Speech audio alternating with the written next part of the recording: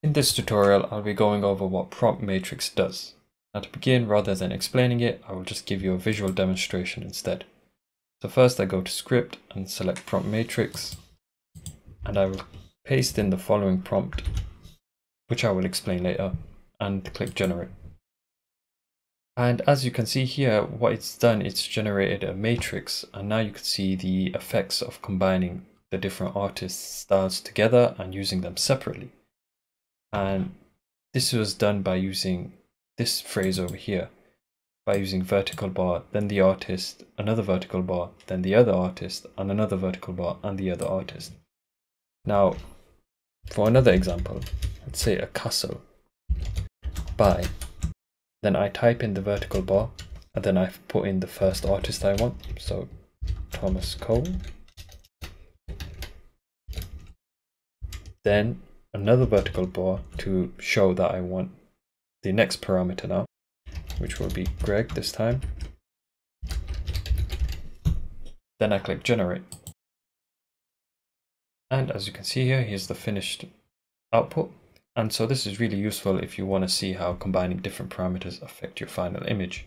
And this doesn't just apply to only artists. You can have, for example, let's say a car, by a car, then a vertical bar, red stripes, another vertical bar, green paint, and then so it just doesn't just only apply to artists, you can use it for other parameters as well.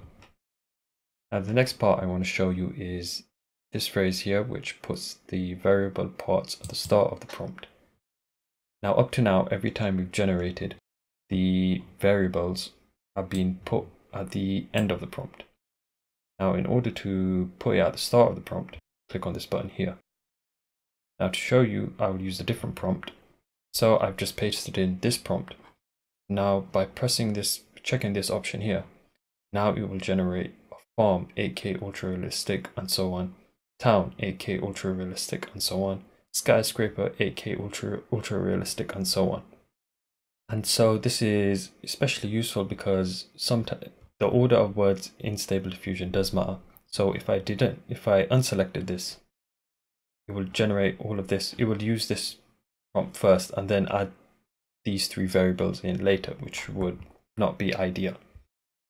And also keep paying attention that even though I did say I want these variables at the start of the prompt, I do still include them at the end. So now if I click generate, and now as you can see, the images have been generated and the matrix has been completed.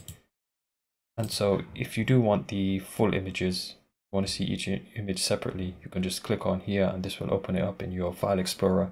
And from there you can do whatever you want with the images. Now the last thing I want to show you is the use different seed for each picture. And what this does is so far up to now, the images have been using the same seed. So that is why you can see some sort of resemblance between some of the images. But now if I want completely different images in, in the matrix, I now click this option here, click generate. Now by selecting this option, the images are now completely different from one another. And this was unlike the before when we were using the same seed for the image. They In them, they sort of had some resemblance to one another, but now it's completely gone. And that's it. That is all you need to know for prompt matrix. And I'll see you in the next video.